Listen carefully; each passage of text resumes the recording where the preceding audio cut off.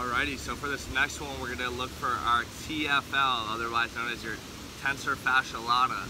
So for this one, we're looking towards the bottom end of the pocket, right? So say if your pocket ends right about here, or if you don't have pockets, it's going to be the area where the quad starts to meet that upper end of the IT band on the lateral end.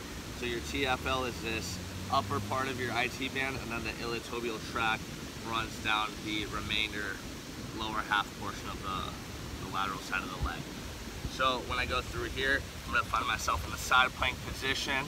My, my hips are gonna be leaned slightly forward at an angle. So if you look at me here, all right, I'm not just straight up.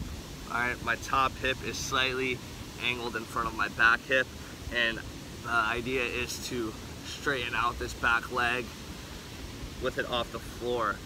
Obviously, if you have not hit this before, you're going to try to alleviate how much stress you put on it just initially because your pain tolerance may not be as high.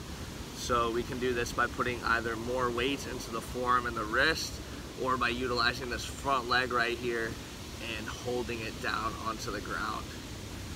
All right, and then as I get more comfortable and learn how to breathe, more importantly with the release,